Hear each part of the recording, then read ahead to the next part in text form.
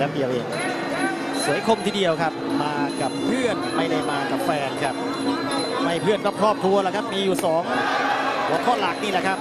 เอาละครับยกที่3นะครับเตะขวาสูงครับเดชพิชัยครับชนะศึกแม่ยืนมวยสวยทรงมวยดีมากนะครับชนะศึกครับพยายามจะออกไม่แม่ไม่มีจังหวะไม่ออกครับเดชพิชัยเดินแล้วนะครับในยกนี้ขยับกับซ้ายครับนี่ครับขวาขึ้นมาเหมือนกันครับทางด้านเดชพิชัยครับ เดินบ้าง จับปล้ำวงในครับแต่ดูจังหวะถ่ายทอดสดนะครับทีมงานเกียรติเพชรรังสรรค์คู่มวยทั้งดาวรุ่งดาวดังเอาไว้ครบทีเดียวเตะซ้ายครับทางด้านของชนะศึกครับเดชพิชัยยกขวาบางทางด้านเดชพิชัยถีบซ้ายเกี่ยวแล้วก็นี่ครับอ่าขยับเข้าไปครับหมัดหนึ่งสองของชนะศึกแล้วเตะซ้ายฮุกซ้ายครับแม่ถือว่าได้น้ำหนักทีเดียวครับตีเข่าวโอ้เอาครับวงในครับโอ้ปัญหาอย่างหนึ่งของทางด้านเดชพิชัยที่ อาจจะต้องปรับต้องจูนเบียงไปเล็กน้อยครับโดยแรงเหวียงจากสะโพกเอาขวาดีครับบังไม่ทันครับลิ้นยัดหลอกหน่อยครับ แล้วก็ได้แข้งซ้ายค่อยๆเดินเข้ามาครับเดชพิชัยซ้ายครับสกัดเอาไว้ครับซ้ายอีกทีครับชนะศึกซ้ายครับโอ้โหมีหมัดเติมด้วยครับโอ้ชุดนี้ ชุดนี้ยังไงครับโอ้โหเด็ดเด็ดเสร็จเด็ดขาดจริง ๆ ครับ โอ้ชุดนี้จังหวะเข้าเบรก กรรมการชนินเทพสุพรรณครับต้องนับครับ นับสู้ไม่สู้ครับเดชพิชัยครับอะถอนหายใจเฮือกใหญ่แล้วมาสู้ต่อครับและชนะศึกก็เตะต่อสิครับขยับเข้าไปครับหมัด 1 2 3 หมัด 1 2 3 ครับ แล้วก็จับตีไม่ตีไม่ตีครับแยกออกมาแล้วมาเสียงระฆังมาพอดีเลยครับหอบซี่โครงบานเข้าไปที่อยู่บนเสื้อคือท่าอะไรนะครับ ก็ส่งคำตอบของท่านมาพร้อมกับกดไลค์กดแชร์ แล้วก็เปิดเป็น สาธารณะด้วยนะครับ มีเสื้อสวยๆ10 ตัวมอบให้เอาครับรีบตอบกันเข้ามาครับไม่งั้นผมจะเข้าไปแย่งตอบครับ แต่ที่แน่ๆตอนนี้นี่คนที่ต้องเดินเร็วคือเดชพิชัยครับ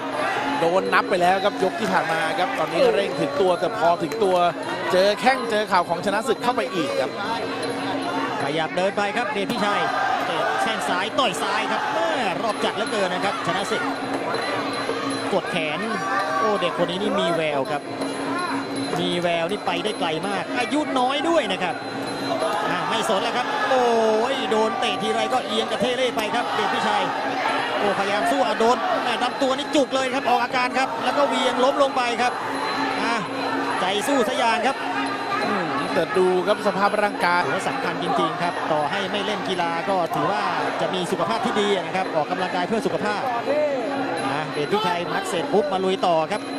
นั้นได้แบบนั้นอย่างเดียวครับไม่มีลูกพลิกแพลงครับโอ้โหโดนตีเข่าเข้าไปครับเห็นลำตัวก็เดชพิชัยครับ แต่ก็ยังคล้องแล้วก็ตีจนได้ครับเดินต่อครับชนะศึกรอครับถอยรอจังหวะดักเสียบครับ ยังไม่โดนครับถอดวงในก็ตีไม่ได้ครับธนนเดชพิชัยมันต้องมีแผน 2 แผน3นะครับ แผน 2 แผน 3 มีได้ยังไงก็ต้องเตรียมมาตั้งแต่ตอนซ้อมแหละครับ วงนอกสู้ไม่ได้ วงในสู้ได้ไหมถ้าเกิดวงในยังสู้ไม่ได้อยู่ แล้วจะมันมีแผนไหนอีกครับเอาละครับสับศอกมาครับ เหมือนจะได้ยินฮะแยกมาครับกรรมการเดชพิชัยเดินต่อนะครับ หัวใจในสอบผ่านครับ ที่เหลือก็อาวุธแม่พยายามจะสับศอกขวาตั้งแขนไม่ดีครับชนะศึกผ่อนหนักเป็นเบาได้ทั่วไปครับ ชนะศึกก็ป้องกันตัวด้วยการกอดรัดฟัดเอาไว้ครับ ก็เป็นการป้องกันเกมบุกของธนเดชพิชัยครับ แล้วก็หมดยกทีสี่ 4 ครับโอ้โหกดไทยจังหวัดอุตรดิตถ์ไปขวาสูงครับอืมมานะครับเจ็ดแสนนี่จ้างให้ต่อยนะครับแข้งชนะศึกสะบัดซ้ายนะครับเป็นซ้ายหน้าครับแล้วก็เข้ามากอดครับเชือกก็หลุดออกมาอีกแล้วนะครับ